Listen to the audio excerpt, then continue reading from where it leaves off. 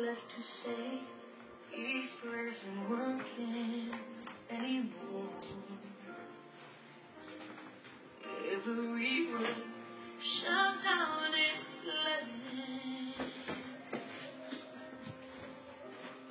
What's left to do with these broken pieces on the floor?